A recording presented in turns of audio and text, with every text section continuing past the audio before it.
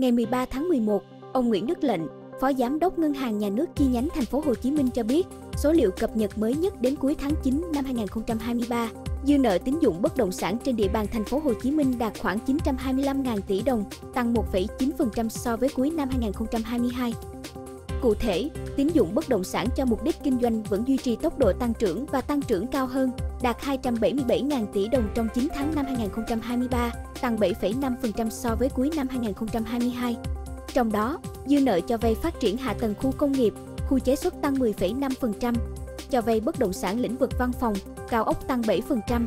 cho vay kinh doanh bất động sản khác tăng trên 20%. Còn dư nợ tín dụng bất động sản cho mục đích tiêu dùng, tự sử dụng đạt 648.000, giảm 0,3% so với cuối năm 2022.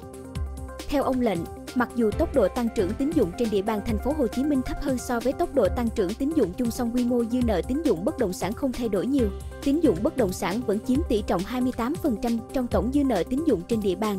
Tín dụng bất động sản tăng trưởng thấp có nguyên nhân chủ yếu từ nhu cầu tín dụng giảm, nhất là nhu cầu mua nhà ở của người dân giảm. Theo ông Lệnh, ngoài việc tiếp tục tổ chức và thực hiện tốt chính sách tiền tệ tín dụng, cần tập trung kích cầu tiêu dùng và đầu tư, qua đó kích thích tăng trưởng. Đi cùng đó là các giải pháp đồng bộ về pháp lý, về xây dựng, về tài chính, về cải cách hành chính để hỗ trợ thị trường bất động sản tăng trưởng và phát triển. Về tín dụng bất động sản chung toàn ngành, bà Hà Thu Giang, vụ trưởng vụ tín dụng các ngành kinh tế cho biết, đến ngày 30 tháng 9 năm 2023, tổng dư nợ tín dụng đối với lĩnh vực bất động sản của các tổ chức tín dụng đạt 2,74 triệu tỷ đồng, tăng 6,04% so cuối năm 2022, chiếm tỷ trọng 21,46% tổng dư nợ đối với nền kinh tế.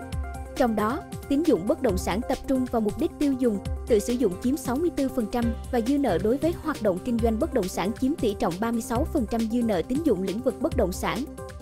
9 tháng đầu năm, tín dụng kinh doanh bất động sản có sự tăng trưởng cao hơn tỷ lệ tăng trưởng tín dụng chung và cùng kỳ năm trước.